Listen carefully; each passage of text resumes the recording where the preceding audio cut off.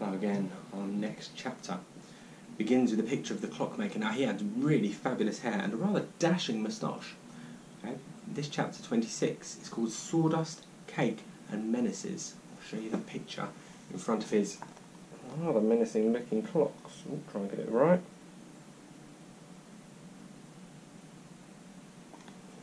So we'll see what he plans to do.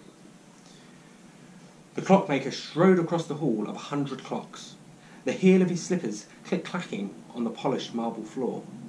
The carved wooden cases of the clocks sighed and whispered, while from behind the glass panels the pendulums swayed, the cog wheels ticked and topped, and the springs whirred. The faces of the clocks looked down at the clockmaker from the black sockets of their winding keyholes, the spiky clock hands moving slowly across their features. Sound quite scary to me. The clockmaker stepped into the middle of the hall and spread his arms wide. You are all my children, he said, as he always did the minute before the clock struck twelve. And as the hour struck, the hall filled with chimes, a hundred of them, each of different tone and pitch, striking twelve times. The clockmaker knew them all. His clocks had taught him everything, and now the children of the hundred clocks, with their tin bodies, arms, and legs, were gathering outside in Clock Tower Square for the Nightingale Parade. The Tin Man Timber Company had been a great success, and with his clockwork army, the clockmaker had been able to dominate Nightingale and the Five Towns. And that was only the beginning. The trees of the Great Wood were being harvested. The timber mills had never been busier.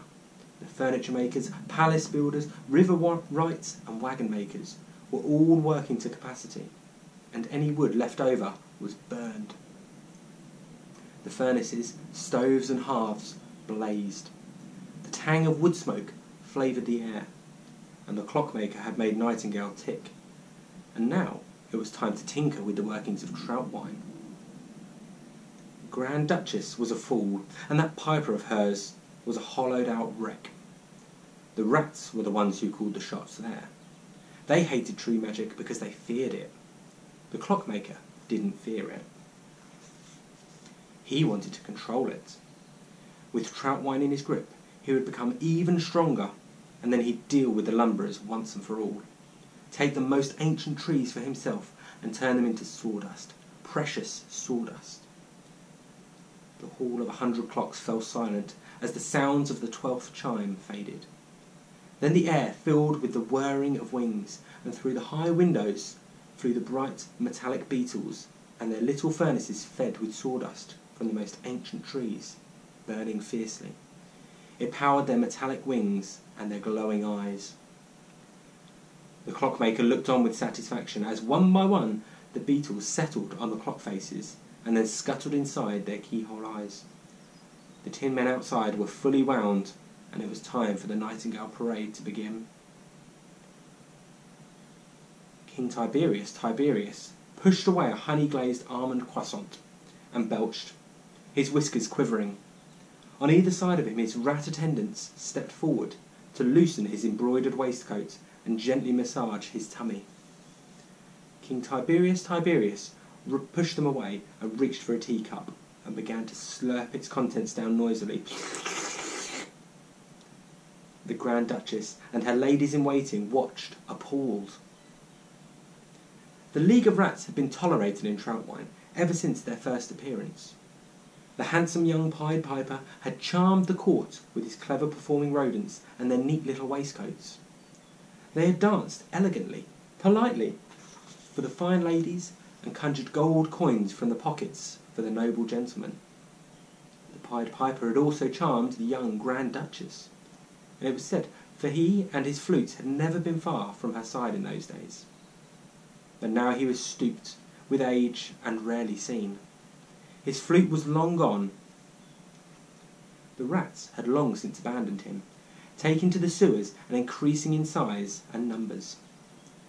Now the rats were as big as cats, and they collected payment from every bakery in the city. The Grand Duchess just wanted a quiet life.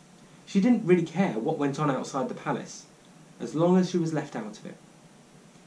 Perhaps that awful clockmaker could do what he'd promised and control the League of Rats, unlike her poor old Pied Piper. The Grand Duchess tutted as she rose from the chair with as much dignity as she could muster, and walked away from the Troutwine tea ball.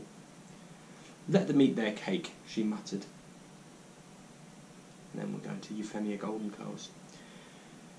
Euphemia combed out her second best wig and pulled it on over her short raven black hair, just like Ray. She picked up a sheaf of paper from her dressing table and checked her reflection in the mirror. She didn't look too bad, considering her latest little setback, she, she told herself. And there's a picture of the rat, King Tiberius Tiberius, with, oh, sorry, page there, with the Grand Duchess in the background. The best professional princess in the business, she murmured approvingly, and then frowned. Hm, but what business?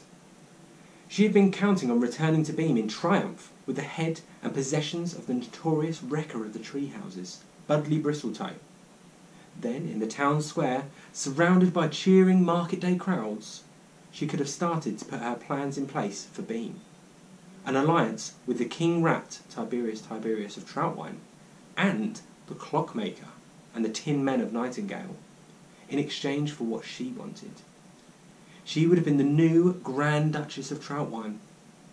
The Society of Giant Slayers, with Euphemia Goldencurls, professional princess, at their head, were more than a match for anyone. But things hadn't gone to plan. There was no slain giant to boast about, but Euphemia knew where to find some. They were hiding in the tumble downs, not bothering anyone. But that was no use to her. She swept back her best second best golden curls and cleared her throat as she raised the sheaf of paper. People of Beam, the giant menace is real. I have seen it with my own eyes. In the Society of Gi- Giant Slayers must unite to face this threat. Euphemia read aloud with a flourish. Budley Bristletoe is back, and this time he is angry. End. Finishing with a rather rousing speech there from Euphemia Goldencurls, planning what she wants to say to the people of Beam in order to turn them against the, dra- the giants. On that page, I'll do that in just a moment. Starts with a different picture. So, we've seen the three children with their cloud horses all going to the different places. We've seen the people of those different places and their plans to unite, okay, and make friends with the rats and Euphemia and the clockmaker. But what damage are they going to ca- what damage are they going to cause, and how are the children going to stop them? I wonder.